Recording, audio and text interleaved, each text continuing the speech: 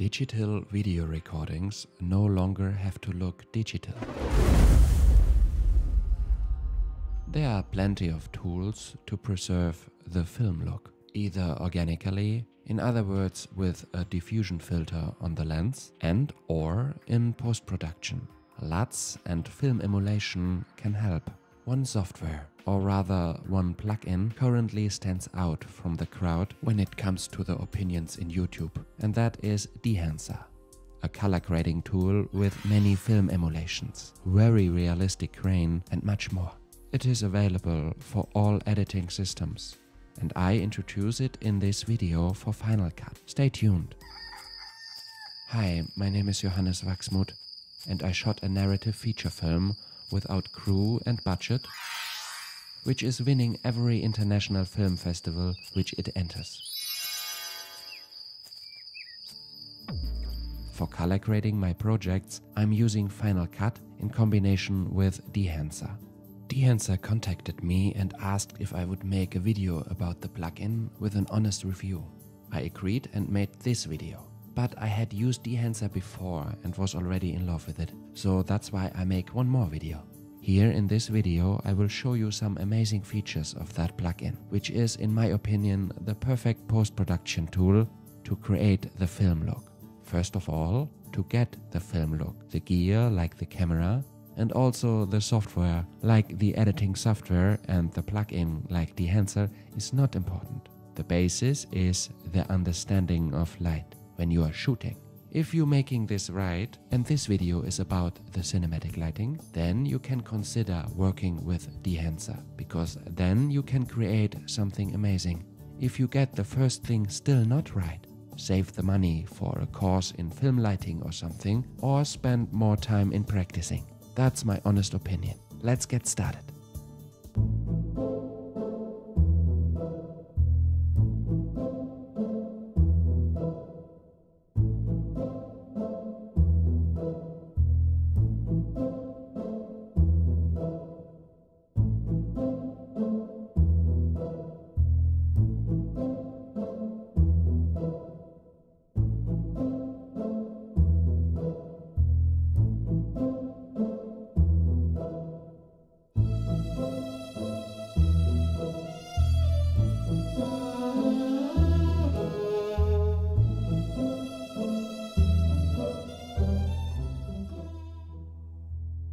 So first of all, we drag Dehancer Pro, the latest version into our timeline, into the clip.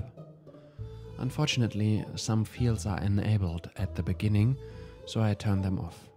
Here we can either set the camera's color profile or even select our camera so that we can work with the correct color profiles. In my case, I filmed this clip with the Fujifilm X-T3. Here I make it a little lighter and a little colder to balance it out. Now we come to the heart of Dehancer, the film emulation profiles. Here you can browse around to your liking. Legendary film stocks like Portra 400, one of my favorite, Cinestill 50D and many others.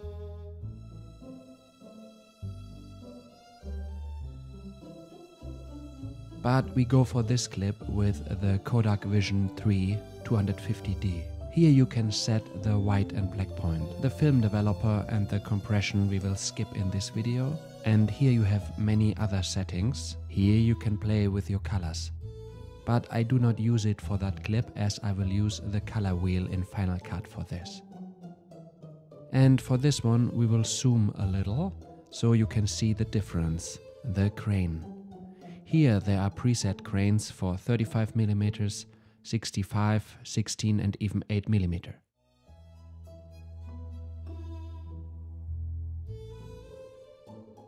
Or you can set it completely manual, which is what I do usually. But for this clip we will go with the 35mm 250.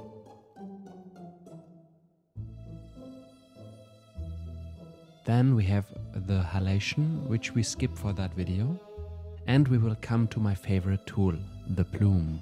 Also with some presets, but I will use the custom settings in this case and go all in to get the bloomy fairy tale like dreamy look. And there are so much more options like film damage and so on, which we will not use for that clip. One thing I'm going to show you. Here you have the false colors tool to check the exposure. Brilliant. And also a LUT generator. Mm, nice. So now we go to the color wheel in Final Cut to get our final look. I bring in the colder blue in the highlights for the light orange teal look. I lower the midtones to create more mood without making the shadows too dark and destroying the dynamic range.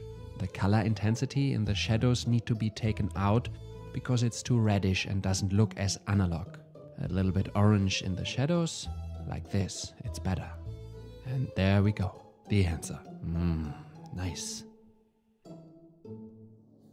If you would like to buy Dehancer, you are welcome to use this 10% discount promo code and I will receive a small commission in return. But Dehancer had no influence on this video, it is completely my own opinion. If you want to see how I made my feature film entirely alone and without budget, check this video. Thanks and see you soon.